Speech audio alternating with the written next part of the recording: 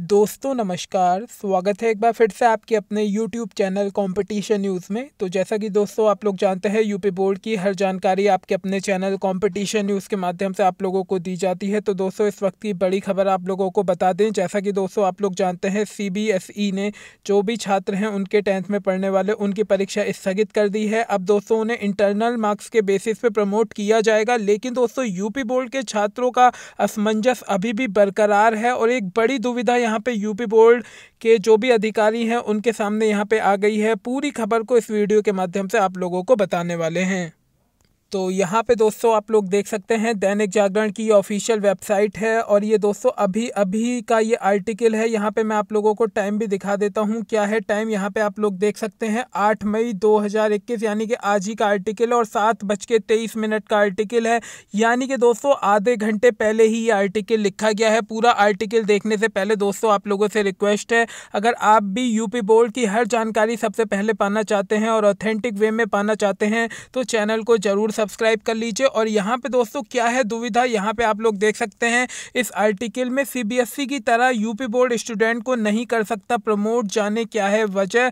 तो यहाँ पे दोस्तों आप लोगों के पास भी यहाँ पे एक मौका है कि आप लोग भी बता सकते हैं कि जो यूपी बोर्ड है, वो यहाँ पे छात्रों को किस प्रकार प्रमोट करेगा। तो यहाँ पे मैं आप लोगों को पूरी खबर बता देता हूँ। फिर आप कमेंट बॉक्स में कमेंट ज़रूर कीजिएगा कि क्या हल है इसका और क्या सोल्यूशन हो सकता है इसका। तो यहाँ पे आप लोग देख सकते हैं यूपी बोर्ड 2021 सीबीएसई व यूपी बोर्ड की परीक्षा प्रणाली में अंतर बरकरार है। सीबीएसई में मासिक टेस्ट के अलावा छमाई व वार्षिक परीक्षा का रिकॉर्ड पूरा ऑनलाइन है। केंद्रीय बोर्ड छात्र छात्राओं के प्रदर्शन के आधार पर हाई स्कूल में आसानी से प्रमोट कर सकता है। लेकिन दोस्तों, यूपी बोर्ड के छात्रों के सामने सबसे बड़ी दुविधा ये है कि जो भी उनके टेस्ट होते हैं, उनका कोई भी ऑनलाइन रिकॉर्ड नहीं है। तो यहाँ पे यही खबर यहाँ पे दी हुई है। यहाँ पे आप लोग देख सकते हैं, कोरोना की दूसरी लहर ने बड़ी संख्या में लोगों की साँसें छीन ली हैं और हज़ारों लोग बीमारी से जूझ रहे हैं। विकट दौर ने परीक्षार्थियों की संख्या के हिसाब से सबसे बड़े परीक्षा संस्थान उत्तर प्रदेश माध्यमिक शिक्षा बोर्ड यानी कि यूपी बोर्ड में सुधार करने का रास्ता भी दिखाया है।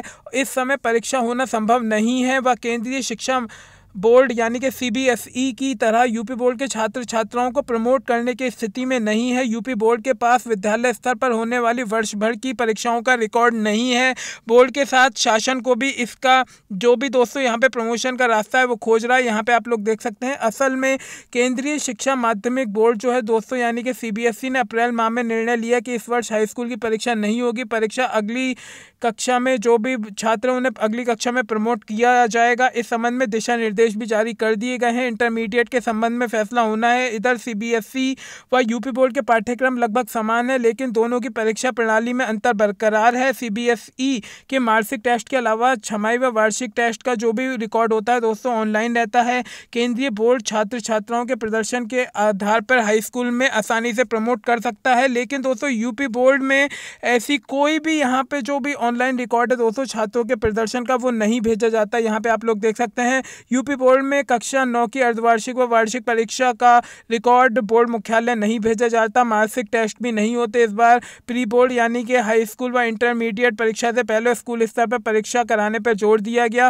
फरवरी में इम्तिहान भी हुए, लेकिन दोस्तों इसका रिकॉर्ड यहाँ पे बोर्ड के पास नहीं है। यूपी बोर्ड के अधिकांश कॉलेज वित्तविहीन है, जबकि राजकीय व शासकीय कॉलेज एक तिहाई ही हैं। अब जिलों में नवी और प्री बोर्ड का रिकॉर्ड मंगाना उचित नहीं है। इतना ज़रूर है कि शासन व बोर्ड सीबीएस यूपीएससी के निर्णय के बाद इस पर मंथन कर रहा है। संभव है कि आगे कोई रास्ता निकाल निकले। देर सवेर परीक्षा ही अंतिम विकल्प हो सकती है। तो यहाँ पे दोस्तों आप लोग देख सकते हैं। तभी मैं आप लोगों से कहता हूँ कि पढ़ाई करते रहिए। और यहाँ पे दोस्तों अगर यहाँ पे छात्रों को प्रमोट किया गया खास तौर से टेंथ क्लास के तो उन्हें यहाँ पे किस प्रकार से प्रमोट किया जाएगा? कैसे नंबर दिए जाएँगे? तो आप ही लोग दोस्तों कोई सुझाव यहाँ पे दीजिए ताकि आपकी बात भी दोस्तों शासन प्रशासन तक पहुँचे। अभी दोस्तों आप लोगों को मैं ये भी बता दूँ कि अभी टेंथ की परीक्षा निरस्त नहीं हुई है, आप लोगों को अभी भी कोई प्रमोशन नहीं मिला है तो इसलिए आप दोस्तों अपनी तैयारी करते रहिए, चाहे आप टेंथ में पढ़ते हो या ट्वेल्थ में पढ़ते हो, अपनी पढ़ाई दोस्तों जारी रखिए और जो भी ऑफिशियल अपडेट आएगी हमारे चैनल के माध्यम से आप लोगों को जानकारी दी जाएगी। फ़िलहाल दोस्तों वीडियो पूरी देखने के लिए आप लोगों का बहुत बहुत शुक्रिया। चैनल को ज़रूर सब्सक्राइब कर लीजिए। क्योंकि यूट्यूब पर सिर्फ़ और सिर्फ़ हमारा चैनल आप लोगों को यूपी बोर्ड से जुड़ी हुई हर जानकारी देता है। फ़िलहाल दोस्तों, वीडियो में इतना ही। जय हिंद, जय भारत।